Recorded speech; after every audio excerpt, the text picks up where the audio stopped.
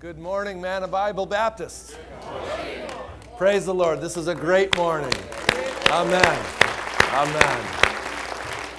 It is a privilege to be back here. I was here, we're debating whether it was two or three years ago, but it is a joy to worship with you this morning. This has been a worship experience, and uh, through song, through dance, through yelling out.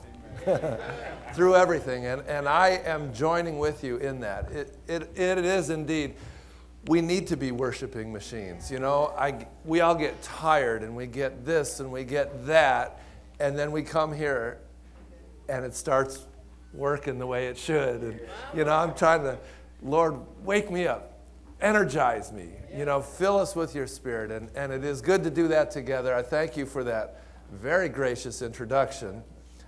Enjoyed your pastor on the few times that our paths have crossed. We just had lunch together with some other brothers about uh, a few weeks ago. Amen. And it was good to reconnect and to realize, oh, we're going to see each other so soon again in the church. And as he said, through motion, through voice, through all the senses, God would have us worship him. And as we go through a traditional Passover setting this morning, you're going to see how God is a God of show and tell.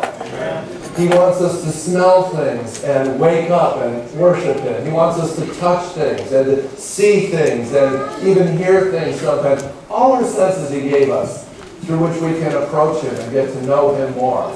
Well, this is a, this is a special season, and today is a special day as we begin this week of walking with Jesus, and we get to Friday, to when he was crucified. And then we get to Sunday when he was raised from the dead. And in between there, in between there, he had this special meal with his, with his buddies, with his disciples. He had that Passover meal, as we read about this morning, on Thursday night. Well, you couldn't be here Thursday night, so we're doing it this morning. All right. And I hope that you will see as we go through this a picture of his death, his resurrection, and the promise of his return. If you've got a Bible with you, turn with me to Luke 22. We're going to read just a few verses from Luke as he repeats uh, or tells in his own way what we heard a little bit in one of the other Gospels this morning. But Luke chapter 22, we're just going to set.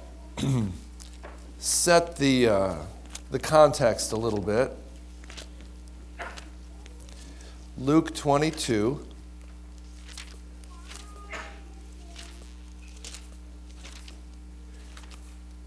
And again, to repeat in Luke's version what we heard, we're going to start with verse 7, where it says, Then came the first day of unleavened bread, on which the Passover lamb had to be sacrificed. And Jesus sent Peter and John, saying, Go, prepare the Passover for us so that we may eat it. In verse 13, they left and found everything just as he had told them. And they did. They prepared the Passover. Now, the first night of Passover begins a week long holiday that we just mentioned here in the text called the Feast of Unleavened Bread. And during that time, we eat nothing that contains any leaven or yeast in it. By the way, do you know when Passover starts this year? Tomorrow night. Tomorrow night is the, the first night of the, the Feast of Unleavened Bread. We eat no leaven because throughout Scripture, leaven is frequently used as a symbol of sin. In olden times, they would take a small piece and use it to ferment the entire portion of dough. Obviously, what does the leaven do? Well, that bread starts to rise to become puffed up. What does sin do in our lives? Oh, yeah, I'm number one. it puffs up us, us up with a little bit of pride and arrogance. So during this week, we eat no leaven as a way of saying we want to break that cycle of sin in our lives. And that's why in some Orthodox Jewish homes, for up to six weeks before the holiday, they've already been working, doing a complete spring cleaning, removing all the cakes, the cookies, the breads, the cereals, the Twinkies, the ho-hos, anything, even that ice cream that has little cookie bits in it, you know, it's got to go. Now, once the house has been cleansed, the home is ready for the celebration to begin. And it's a very joyful holiday. Lots of singing. The kids are a big part of it. It's, it's like I said, it's filled with praise. But my ancestors had to, instruct, had to eat that first Passover meal a little differently. Loins girded, sandals on their feet, and staves in hand, ready to go at a moment's notice. But as I said today, it's different. Today we actually recline on pillows as we eat. We relax. We get to kind of slouch over. And, sir, I am glad you are on the spirit of things this, this morning. That's good. All right. A few of us. Well, you know, in ancient Middle Eastern societies, the reason we do that, it was only the free who could recline at dinner, only the redeemed. Now, in a, a traditional Jewish home, if you were to go, what did you say, north of Northern Parkway? That's right. Yeah, if you go into some of those neighborhoods on Passover, you would see some of those fellas wearing one of these. It's called a kittel, and uh, it's the kind of robe that uh, a priest might have worn in Old Testament times. Now, the way I grew up, we weren't that traditional. It was a traditional Jewish home, but my dad didn't wear one of these. I suppose his dad probably did. But my father was a little more modern. He said, ah, enough of the old world. Well, I'm sure you know what this is, right? Did you say the beanie? no. That's right. It's the yarmulke or kippah. Jewish men often cover their heads as a sign of respect before God. I'm sure you see that around here. But on Passover, we wear something a whole lot more special. Yeah. Kind of looks like a, a crown that a king might wear. Because on Passover, the head of the house is like a priest, like a king. And as he fills those roles, he guides his family through this traditional Passover Seder. Seder is a word that means order, it's a Hebrew word. And uh, everything has an order that we follow in this book, we call a Haggadah, which means the telling. Let everybody take a look. Inside, lots of instructions. It tells the story as we follow it along through pictures and words of how God redeemed the Jewish people from slavery in Egypt. All right, well, there's a customary greeting we start at, we're actually supposed to yell this into the neighborhood. I made my daughters do this when they were little. They're a little bit embarrassed to do it, but let all who are hungry come and eat. Amen. That's what you think. There's nothing here. For, all right, we ain't eating this morning, but just the same, the invitation stands. Come celebrate Passover, and we begin with the lighting of the Passover candles. It's usually the honor of the woman of the house to do that. It would be nice sometime if my wife were up here with me. But uh, this morning, she, uh, we were on the road for the last few days, uh, quite a long drive, and uh, she didn't want to get up quite so early and join me, so I'll take the honors.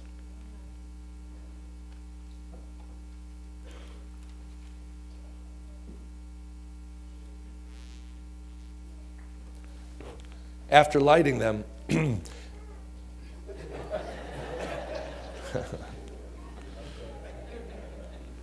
All right. After lighting them, she recites a traditional Hebrew blessing that goes like this Baruch atah Adonai Eloheinu melech haolam, asher kidshanu b'mitzvotav v'tzivanu lahadlik ner shel yom tov. Blessed are you, Lord our God, King of the universe, who has set us apart with your commandments and commanded us to kindle these festival lights. You know why it's nice that a woman would kindle these lights normally, not a man? Because it can remind us, if we think about it, that the Messiah, the light of the world, would not come from the seed of man, but from the seed of woman and by the will of God. Even as Isaiah the prophet foretold, you remember? Behold, a virgin shall conceive and bear a son. She shall call his name Emmanuel, a light to light the Gentiles, praise the Lord, and the glory of thy people Israel. But Passover is not just a simple meal, Mm-mm. it's a big banquet. And it's not just a weekly type worship service, it's a very complicated annual ceremony. So, where a normal meal and service might take one or two hours, the Passover celebration may take up to four hours. And thank you, Pastor David, for telling me to not worry about time this morning. All right. well, during that time, each adult would drink from his cup and refill it four times. The first one, now, we don't normally have four cups in front of each person. I have these two help us remember the meaning of each cup. Normally, we would have one that we keep refilling. The first one is called the Kiddush cup, cup of sanctification. Then is the cup of deliverance or plagues, two names for it. Then the cup of redemption, which is a special one, and we'll talk more about this one. Lastly, is the cup of Hallel or the cup of praise. Well, with the first one, the father lifts the cup aloft, so does the family joins him. We offer praise and thanks to God Almighty, King of the universe, creator of the fruit of the vine. Baruch atah Adonai Eloheinu melech haolam borei pri hagafen. You want to know something? In, in, in the church, when we pray, if I was going to pray in the church, I would make my prayer and I would say, Amen. Right? We all say, Amen. In Judaism, it's a little different. Whoever says the blessing doesn't say the Amen, it's just the people listening in say the Amen. So I didn't say the Amen. Let me hear you say the Amen. amen. All right. well, now we've officially begun. And the youngest person present comes forward to ask the meaning of Passover. It would be a little boy or a little girl. And the reason is this he or she, by asking these questions, what is this for? How come we do that? What's that about? It sets up the evening and allows the parents the, or the grandparents, the older generation, to pass on the meaning to the children of the good things God has done through history and how He's redeemed our people. So, from generation to generation, we, we, we celebrate the holiday that way. And so the child asked the first one, Ma nishtana halayla hazeh mikol halelot, mikol halelot, which means simply, why is this night different than any other night? Well, we begin to explain. This is because of what the Lord did for me. When He brought me out of the land of Egypt, out of the house of bondage, when He redeemed me with a mighty hand and an outstretched arm. If you remember anything about Passover once I'm gone, and so you can talk about it maybe with some of your neighbors, I want you to remember at least one word the word redemption. All right? Let's say redemption. redemption. That'll help us remember. All right. Because that's what this holiday is all about, but not just God's message of redemption. God, with this holiday, gave us his means of redemption through the sacrifice of a Passover lamb. My ancestors were told to take a spotless lamb, roast it whole without breaking any of its bones, and then put its blood up on the door frames of our homes, the lintel on top, and then on the two side posts. Well, it was through our obedience to God's command and through our faith in the effectiveness of what He had provided. Just think, we could have chosen to not believe it. What? Blood on my door? I'm not doing that. Well, that wouldn't have gone so well for us. So it was through obedience and faith that we were spared the destruction of that tenth plague which fell in the land of Egypt. For when the Lord saw the blood on our doors, he caused death to pass. Yeah, over, that's it. It's where we get the name of the holiday. Passover, in Hebrew, Pesach, the holiday we remember that death passed over the houses of Israel because of the blood. The blood of the lamb, the Passover lamb. This is a tremendous act of God's redemption. But I want you to see it's more than that. It's God's picture of an even greater redemption that was to come through the sacrifice of another Passover lamb, our Messiah Jesus. Think about it. You all know what the Torah is, right? It's the law of Moses. Well, God had Moses insert little detail there in the Torah that none of the lambs of those first lambs were to be broken in their deaths. God had the gospel writers insert a little detail too that at Passover time, when Jesus was crucified, none of his bones were broken. My ancestors had to apply in faith the blood of the lambs to the door frames of their homes. Well, spiritually, each one of us must apply in faith the blood of the Messiah to the door frames of our heart. But think about it. Where did I tell you the blood was on those doors? That's right. Let's start. Some people pointed up top. That's right. You take a branch of hyssop. Now, I don't know what hyssop is. I don't know. I, you know, I'm a city guy. You're city folks. Hyssop doesn't just grow. I don't know what it is. It's some kind of leafy, branchy thing. Who knows? But we take some hyssop. It's a Middle Eastern vegetation. You dip it in the blood and you splash that on the top of your door. What do you think is going to start happening with that blood? Well, it may get on you, but yeah, yeah, some of you, that's right. It's going to start dripping down. Boom, boom, boom, right on the ground. So we're going to have a little puddle down there. And then we splashed it on the two sides. So 1,500 years, I love this. God gave us a picture of redemption. Think about it.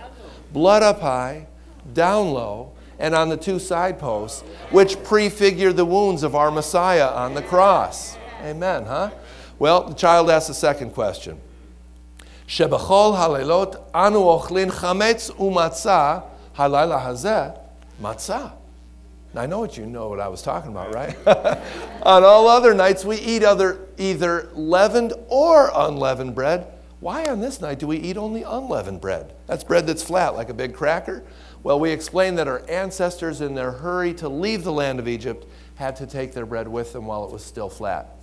I'm going to start the show and tell a little more, but we want to start with this blue item called a matzah tash. And inside here are three layers of unleavened bread, matzah, each separated from the others by some cloth. You can see the various compartments in there. And on Passover, the head of the house removes just the middle layer, breaks it in two. We set one half aside, and the other half gets a special name. We call this the afikomen. Let me hear you say that. All right, can you guess what language that is? Hebrew. Nope. It was the best first guess, though, always. Huh? I hear Aramaic. No, but I did hear, who said Greek? Yes. Whoever said Greek, you all go home with 10 points this morning. All right.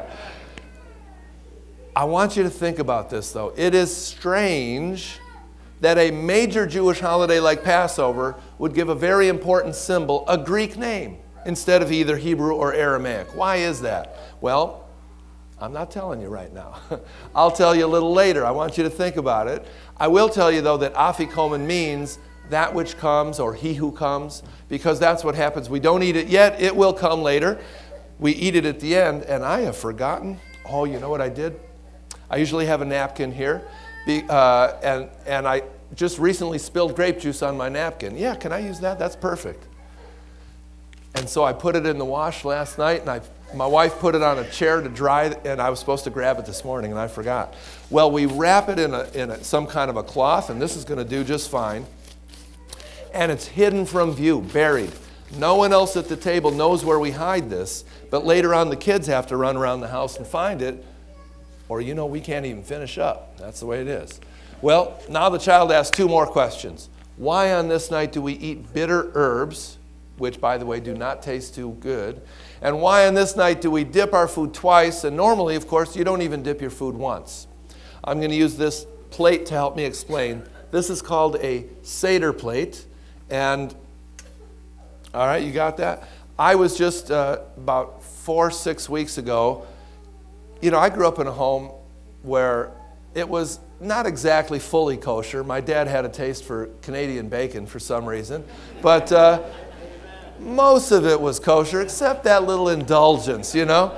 But uh, somebody just told me, I didn't even know about this, that there's something called an oyster plate. You familiar with that? Well, see, I wasn't, because they don't have kosher oysters. They don't make turkey oysters. So, uh, but we don't use it that way. We put symbolic foods into those compartments, and together they form the picture of redemption. So we're going to talk about those. The first symbol is this one called karpas, or greens. And we use parsley. And of course, as we are in springtime now, you know, the greens represent life, everything outside coming back to life. But before we eat it, we dip it into salt water, which represents the tears of life. Yeah, why do we do that? To remember that a life without redemption, isn't it so often a life that is immersed in tears? Yeah.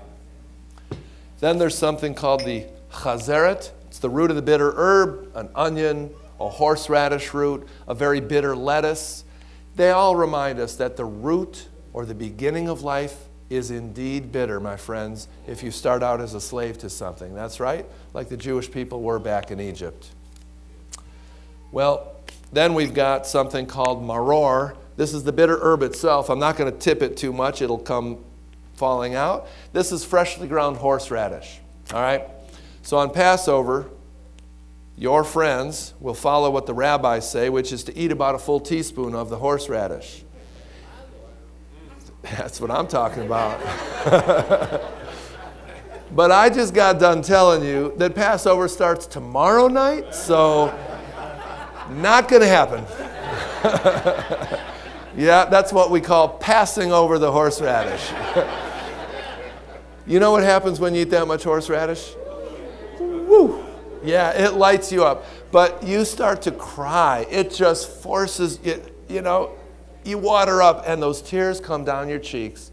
And that's the whole point. The rabbis want to make sure everyone at the table starts crying to remember, seriously, remember how tough it was in Egypt, how terrible the conditions were, how sad it was to be in slavery back in Egypt. Well, then we have a little contrast, and it cools off the palate. Something called charoset. Now you can see this is just a, a, a chopped apple. All right, this is the beginning of the recipe that's made of chopped apples, nuts, honey, cinnamon, a little bit of wine and grape juice. We, we kind of uh, chop it up, mix it up, and it becomes a brownish, grayish colored mixture that's supposed to look like the mortar that our ancestors made bricks for Pharaoh. But it tastes really sweet and really good. And people wonder, well, Stephen, why do you use a sweet mixture like that to represent such a bitter job? This is wonderful. The most bitter labor, no matter what it is, can be sweetened when God has given you a promise of redemption. Amen. Amen. We need to remember that. Amen. Well, the next symbol, this one called the Chagigah. That was the name given to a special holiday sacrifice once offered in the temple in Jerusalem. On Passover, it's actually roasted, so it chars up the eggshell a little bit. We break it open. Everyone at the table gets a piece. Before we eat it, though, we dip it into salt water, which represents what? Tears. We do that because it's a token of grief to the Jewish people over the destruction of the Second Temple. Now, the last symbol is this one. We know what that is, right? Of course, yes, it's a bone. It's a lamb shank bone. And uh, I don't know how many of you would agree or disagree. Let's see. I, I never do this. I'm going to do it this morning. How many of you would agree with this statement? Well, Passover is the feast of the Passover lamb. Okay, I see. Wow, only two of you. Well, what do you know? The rest of you disagree with that, or are you just too afraid to be wrong? all right. Well, we're all afraid to be wrong, aren't we? That's that pride thing again. All right. well, Passover is the feast of the Passover lamb. And it's not the feast of the Passover lamb. What am I talking about? Well, once upon a time, we did, eat, we did eat lamb on this holiday, but guess what? Your Jewish neighbors just across the street over there, on Passover, they do not eat lamb. The rest of the year, sure, they might have lamb chops or whatever else, not on Passover. The reason is that the lambs we once ate on this holiday were from those animals that were offered up as sacrifices. But in the year 70 AD, the temple in Jerusalem was destroyed along with the altar where those sacrifices were performed. So from that day to this one, no animals are offered up any longer, so no lamb is on the table. Instead, similar to this egg, we just use a bone that reminds us of sacrifices that are no longer performed. But those two symbols on the table can be, if, if you think into it, so to speak, they can be a bit troubling. There's no temple and there's no altar. And I just got done saying there's no sacrifice today. So, how is it possible to atone for sin? The Torah in Leviticus is very clear. God had Moses say, I have given it to you on the altar to make atonement for your souls. For it is the blood by reason of the life that makes atonement. Now, as a Jewish missionary to my people, this subject does come up. And I guarantee if I spoke with some of the folks around here, I would get one of three reactions. First reaction, Stephen, you're an idiot. Sorry to say that in church. They would say, You don't know what you're talking about. You're just ignorant. You must not have had a good Jewish education. You know, don't you know? We don't do that in Judaism. We go on Yom Kippur. We ask God to forgive us. He forgives us. You know, you don't know anything. Number two, what are you trying to deceive us? you got you're, you're, trying to like play something tricky here. You know, you're you're you're like double speak. You know, like a, like a snake. Or number three, pure and simple anger. All right, anger. I once was in a discussion with a, a, a very famous Orthodox rabbi in Jerusalem. He's no longer alive. His name is Noach Weinberg. He was, he's, I'm telling you, he is a sage, you know, in modern Judaism. And this subject came up. And he started yelling at me. He said, You mean to tell me you think God is some type of primitive, bloodthirsty being? He said it, it had a different tone, really. But uh, I wonder how you would have responded to him. Just how would you have responded to him? You know, what do we say in the face of that? Is what I'm talking about relevant or is it irrelevant today? Well, it is relevant. Let me explain. The ancient rabbis who wrote the Haggadah, they tell all of us sitting around the table to identify with the Exodus.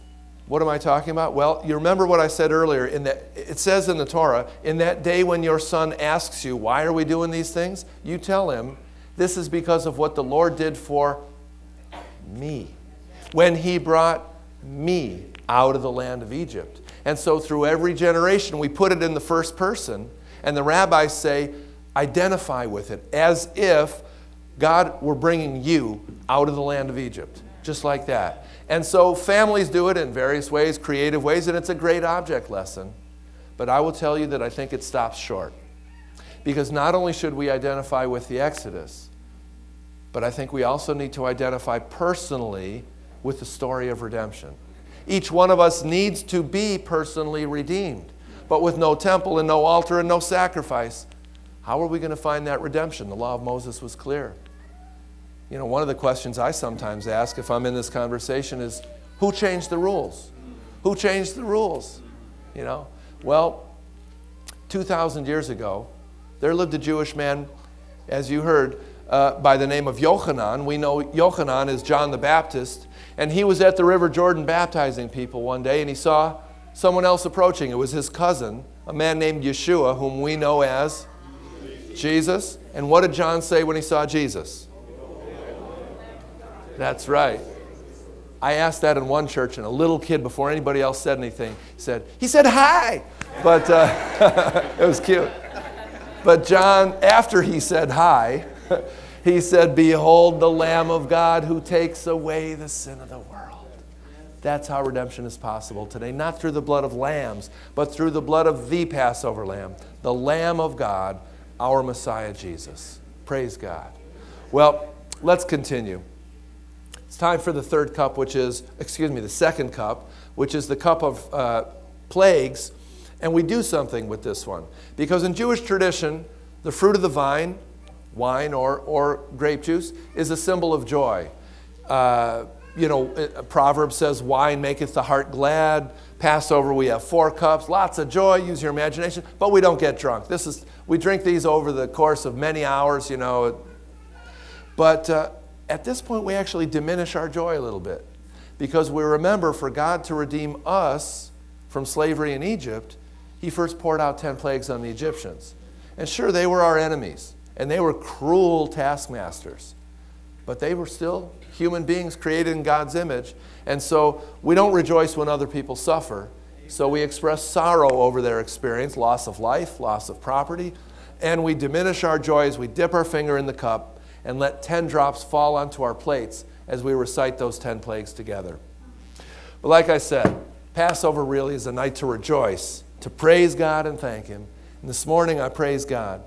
Not simply that He redeemed my ancestors from their slavery in Egypt, but I praise God this morning that He redeemed me from what could be called a greater slavery slavery to sin. That's what the Bible calls it. I was raised, as I told you, uh, in a somewhat traditional Jewish home in the Chicago area. We went to a conservative synagogue. You know, there's Orthodox, conservative, reform. We were in a conservative synagogue. So from a young age, you know, I learned, I was going to Hebrew school, learning to chant the Torah, chant the Haftorah, you know, from the prophets for my bar mitzvah, which came up at the age of 13, and learned how to, what to eat and not eat, even though we didn't always follow it exactly. And, you know, we were an average American Jewish home. But we were not a religious, we didn't talk about God so much. We didn't read the Bible in my household. And by the time I got to high school or the middle of high school, I didn't know if there was a God. No, no. So uh, my grandmother, my Orthodox Jewish grandmother, died when I was 17. And she and I were very tight. And, you know, when you stare death in the face, it's, it's not, it's, it's troubling.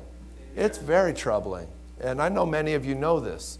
And so I began to wonder what is life? What is death? Why are we here? What's the meaning? Is it to party? I don't think so. Is it to make a lot of money? that's not so deep after a while, you know? So, what is the meaning? I couldn't find answers. I went off to college, University of Illinois, and I wound up, interesting turn of events, but in my first semester, had a Jewish professor for a certain class, and I wound up writing a research paper for him on why the Jews at the time of Jesus did not believe he was the Messiah. Wow, I didn't know anything about that. But I had to see what did our people expect in the first century? Why didn't they think Jesus fit that portrait? So I'm reading these uh, prophecies, you know, these prophetic texts in the Old Testament that our rabbis said were about the Messiah. And I read explanations, books by Jewish authors, Christian authors, secular authors, still had so many questions. So I interviewed a couple rabbis in town. I made appointments one by one, and a couple Christian pastors in town to hear both sides. And I told an, an ex Jewish girl, uh, no, not ex Jewish, but ex girlfriend who was Jewish, uh, she came to visit me. I told her what I was writing on, and she was a bit shocked because we don't talk about Jesus in the Jewish community. And I know you know that. But she said, Well, wow, what do you think? You know, what do you. And I told her, you know, I'm leaning in the direction it might be true. Yeah.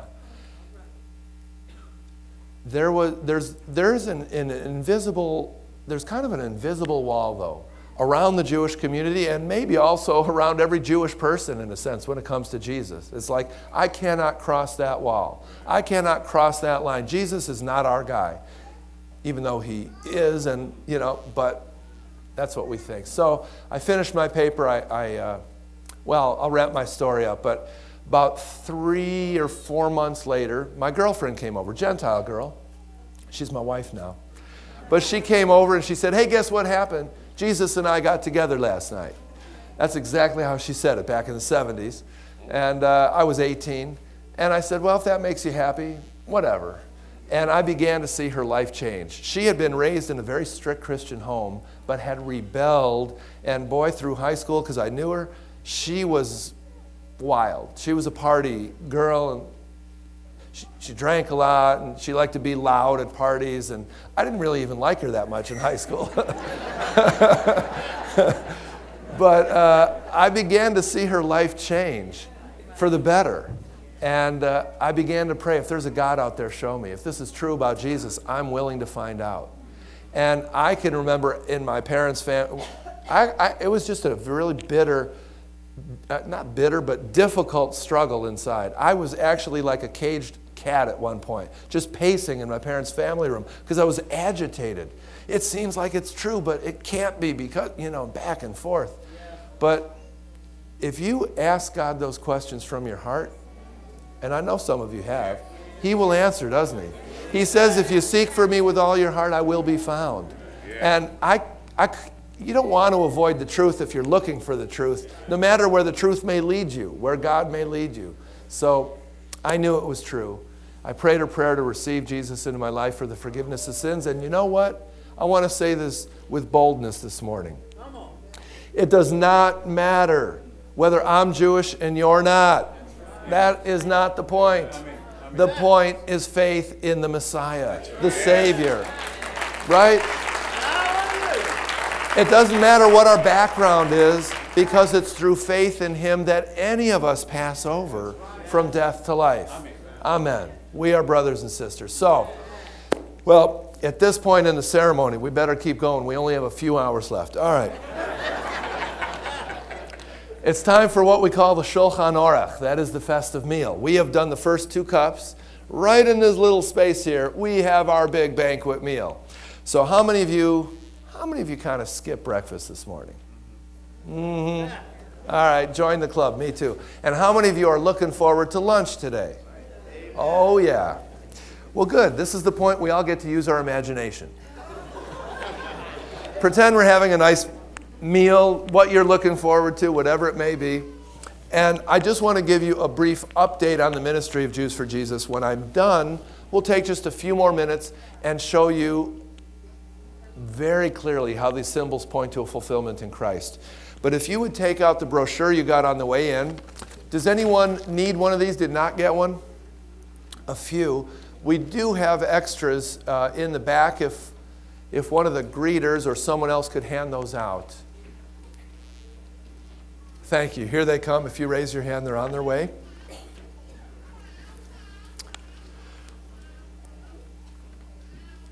All the way up to the very front pew, too. All the way to the front. Wow, okay. Well, I'll just, yeah, more up here. Thank you. Jews for Jesus is an international missionary organization. We're in 12 countries around the world. We bring the gospel to our Jewish people in all the major cities where Jewish people tend to live. My role, I've been with the ministry 22 years now.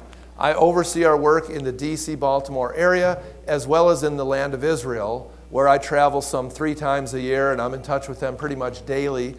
Uh, Israel is our largest branch now, praise the Lord. Do you know about 100 years ago, 2011. Yeah, that'd be 1911. About 100 years ago, there were somewhere between 20 to 40,000 Jews in the land of Israel. Do you know today there are 5.7 million Jewish people in the land of Israel? God is truly doing something unique and new in our lifetime. And uh, out of that 5.7 million Jewish people in Israel, native born Israelis, those, you know, who are Jewish people born in the land of Israel, there are only about 6,000 who are believers in Jesus. If you do the math, and I've done it for you, that is less than one tenth of 1% of the Jewish Israeli population that know Jesus. And so the need is huge, brothers and sisters. And doing Jewish evangelism in Israel as well as here, uh, I should tell you some Baltimore stories, but. Um, it can be very challenging. It can become volatile at times. Here in Baltimore, I mean, in Israel it gets real big, but here in Baltimore, we were doing uh, on, uh, I don't know if we were on Park Heights or where we were, or if it was Reister's. No, it wasn't Reisterstown. I think it was Park Heights. We were out there and we were holding a banner, you know, and we were just trying to get the message to the community. And, and some of us were going door to door. While some of us were going door to door, some young people in the neighborhood started throwing golf balls at our, I don't know, how are they getting golf? Is there a country? Yeah, there is, I guess, a country club somewhere. But anyway, they're throwing golf balls. And luckily, no one, or fortunately, no one was hit. While we were holding the banner, one of our folks got, got creamed with an egg from a, passerby. One religious Jewish man uh, walked by and he made it clear he says, You're going to burn in hell. You know, and some people say, Oh, Jewish people don't believe in hell. Well, that man certainly believed it. And, and, and actually, in Orthodox Judaism, they do believe in a heaven and a hell. In the liberal Judaism, they don't. But one of our volunteers, believe it or not, this is so funny. He was a Gentile guy volunteering in this Baltimore outreach we did. He was a pig farmer from Iowa. Talk about it. You know, God will use anybody to reach anybody, right? But he said to me after this religious man had made that comment, he said, How ironic that that man said we were going to burn in hell while all the time we were praying that he and his community wouldn't, you know? Anyway, um, go ahead and open your brochure up, tear off this little coupon. All right, there's a part that says the involvement section. I'm a missionary and I'm not a salesman, but I do hope maybe I can persuade you to fill this out this morning so you can get a free newsletter from Jews for Jesus. Folks, God has you in a very strategic location when it comes to Jewish evangelism. A lot of those people in Baltimore will not talk to me because I'm a turncoat, I'm a traitor. I've joined the other team. You know, I've, I've, I've left what I should have. You are the perfect, the perfect witnesses because in their mind, I'm just telling you like it is. In their mind, you're supposed to believe in Jesus. You know, you were raised in the church. That and, and so you, you know, they expect you to bring up Jesus. Well, why don't you do it? That would be wonderful. Because, you know, they can't blame you of being a traitor. They might say, oh, that's kind of you, that's nice, I'm Jewish, you know, and they'll act maybe like they know a lot more than you.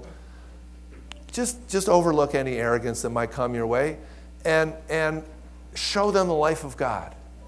You don't have to have sophisticated theological answers. The blind man in John 9.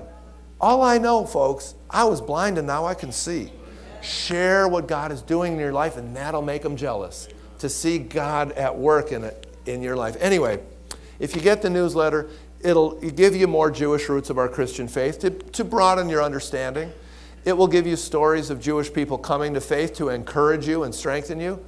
Uh, it will tell you how to pray for us as we bring the gospel to our people. So I hope that you would fill it out. It is free. Um, later, there will be a, an offering for the ministry of Jews for Jesus. But again, you don't have to put money in there as you put your card in there. The newsletter is free. If you do decide to give a gift to our ministry, just a couple of quick words. Don't take away from what you plan to give to the church this morning. Don't do that, please. Support the church first. This is your primary place of ministry. Secondly, if you're still exploring who Jesus is and you are not sure that you've given your life to him, don't give in the offering. Because uh, first, receive Jesus as your Lord and Savior and, and just let the offering go. But um, if you do give to Jews for Jesus this morning, it goes to bring the gospel to my people. It doesn't bring me to the church. The church does my mileage. Don't worry about that. Anything for this offering will be for uh, evangelistic purposes. Right out behind the sanctuary, there's a table that I brought materials to help equip you to share your faith as well. Half the table is free. I should have brought one, but a great little pamphlet on some pointers on sharing your faith with Jewish people. But I've got, uh, well, just take a look. I'll be back there. We can talk afterwards. A lot of stuff to help you. We're in a Sunday morning worship service. Uh, I don't often do this, but uh, before we finish up, are there one or two questions before we continue? If anybody has something that's just burning on their mind, that's fine if you don't. Just want to give you the chance.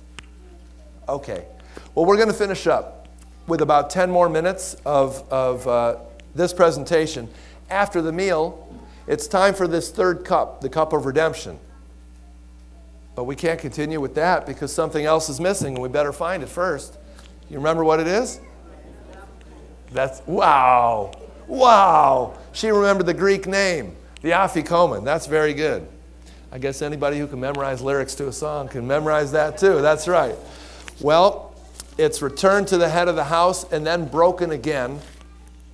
Each person at the table gets a small piece about the size of an olive and that olive sized piece will be taken with the third cup, the cup of redemption. Familiar? I hope. This moment in the Last Supper, which was a Passover Seder, is where we find the origin of our communion service. But not only that, think about it. Where else could we find a clearer picture of our Messiah Jesus than in this custom of the Afikoman? It's broken, it's buried, it's brought back. Even the matzah, which is unleavened, a symbol of a sinless nature, can speak of Christ. Our rabbis give us guidelines about every area of life, but including how we bake matzah. They say it must be pierced to inhibit any kind of leavening that might happen. I don't know if you'll be able to see the, hole, the holes in this. Well, God spoke through the Old Testament prophet Zechariah, and he said, This is the Lord speaking, they shall look upon me whom they have pierced. Yeah. But I can see Jesus not only symbolically in the matzah, but also in this matzah tash. You remember the pouch, three layers, right? We took the center one out. Well, in the Jewish community, there is so much disagreement about what this thing means. Some rabbis will tell you the three layers represent the three patriarchs of Israel Abraham, Isaac, and Jacob. But why do we do what we do to that middle one? Well, other rabbis will say that they represent the threefold division of worship in the Jewish community. That means the priests, Levites, and the rest of the people of Israel.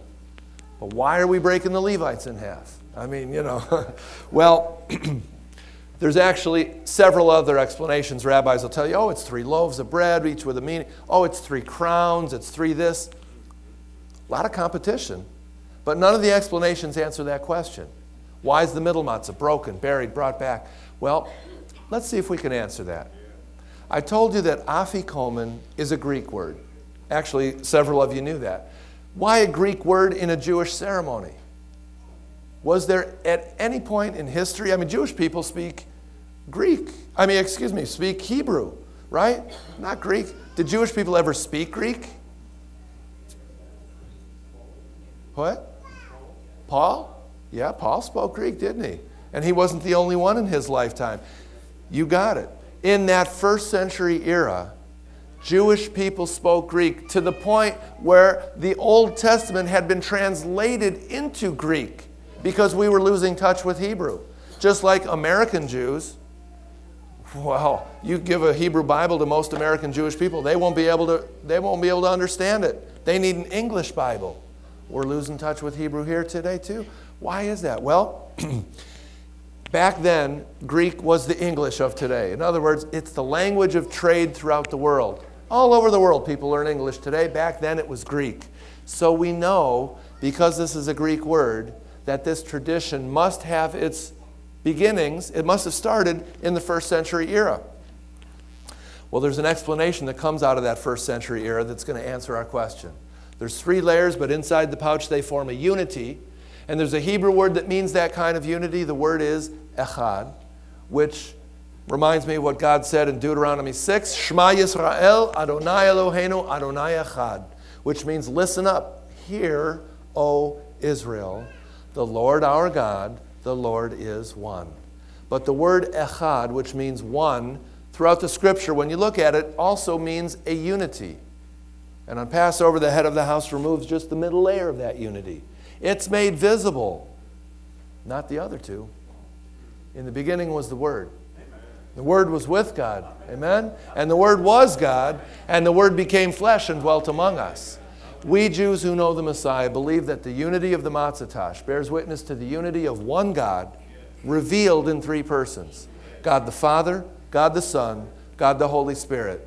Why is the middle matzah broken, buried, then brought back? I know we got the picture.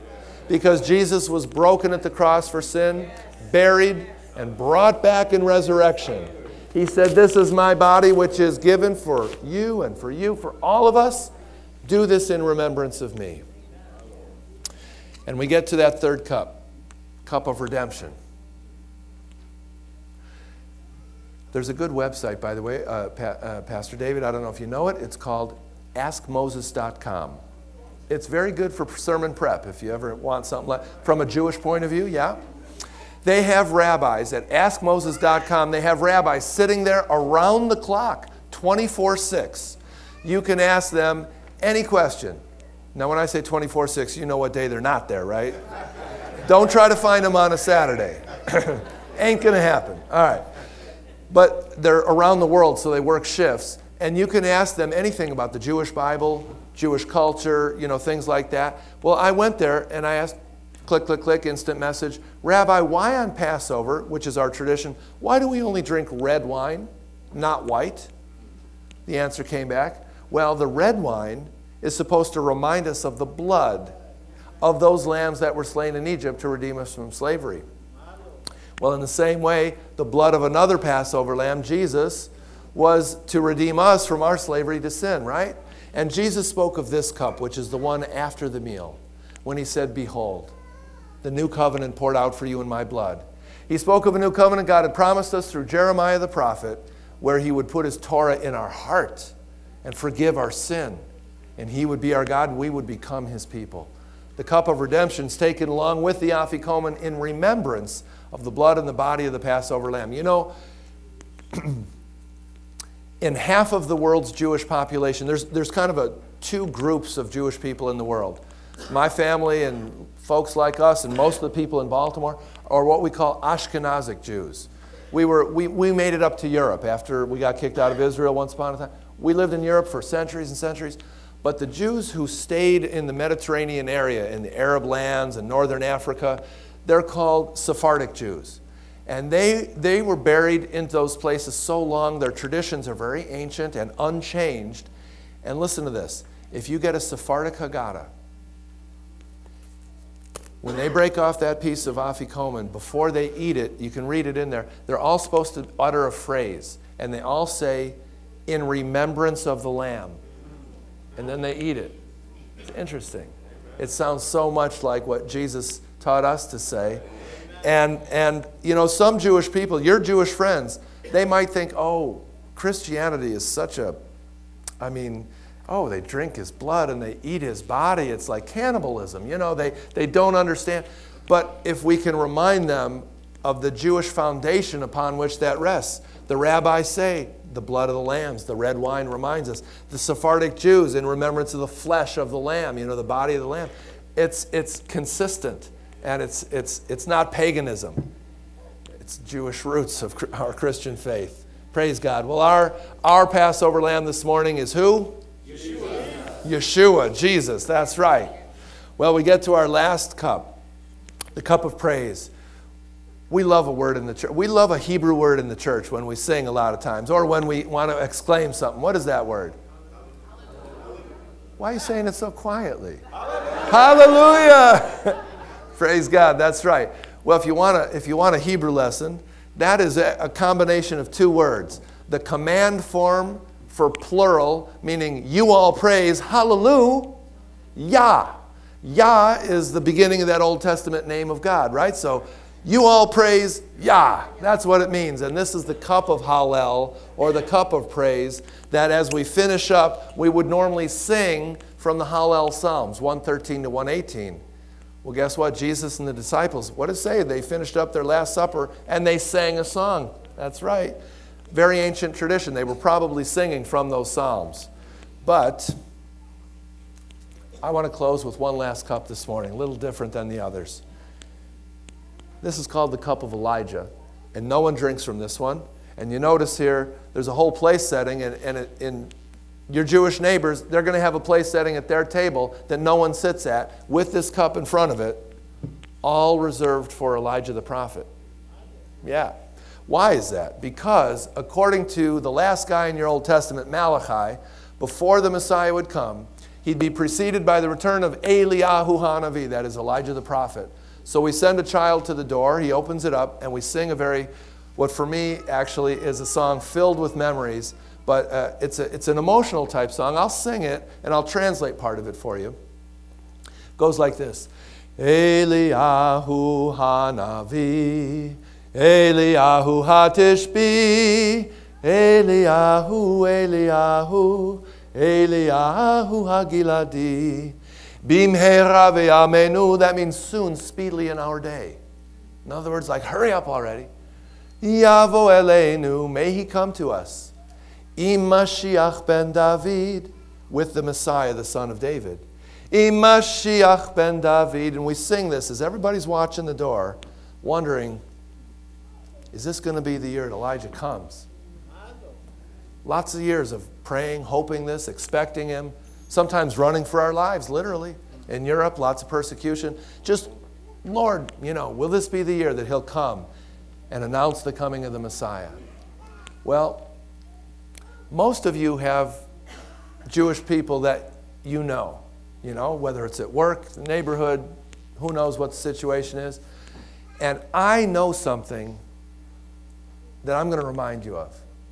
At Passover, springtime, from your, the Jewish people that you know, you have never gotten a phone call like this. Oh my gosh, you're not going to believe what happened last night. Elijah came to. No. you don't get that phone call. You don't get that call. He never comes. 2,000 years, 3,500 years since the Exodus. He never comes. Why is that? Why? I mean, my uncle was a rabbi. You think if he's going to go anywhere, he'll go to the rabbi's house. My cousin is a rabbi. He never went to his house. We were a simple Jewish family. He would never, you know, lower himself and come to our. What, what's up with this? Elijah has already come. When Jesus spoke of the prophet John, he said, If you care to accept it, he himself is Elijah who was to come. So the forerunner of the Messiah has been here, which is a signal to the Jewish community and to us all in the world that the Messiah has come, our Savior of both Jew and Gentile alike. Amen. Amen. I want to close this morning before Pastor David comes back up. And I want to switch gears slightly, just slightly instead of this image of Elijah coming and knocking on the door and announcing the coming, I want to think of what Jesus, our Messiah, said to us as he said he knocks on the door. You remember in Revelation, we have a quote from Jesus when he said, Behold, I stand at the door and knock. And if anyone would hear my voice and then open the door, I will come in and eat with him and he with me. And the, one of the big things I understand from that passage. And we've heard this passage so many times, I know. But I just would say that the, the imagery of eating together, we just ate a lunch together recently. And it's over a lunch where you get to know people. You laugh sometimes, you cry sometimes. You say, I've got something on my heart I just need to share. Or I want to talk about my son or my daughter, my this, my that. And we really share our lives together. I think it was to that fellowship and intimacy that Jesus invites us to do that with him. And I know that Pastor David wants to come and, and uh, broaden that invitation a little bit. And uh, so I hope that through my presentation, you can see that the Lord is speaking through the Old Testament, through all the pages, to tell us about our Messiah Jesus.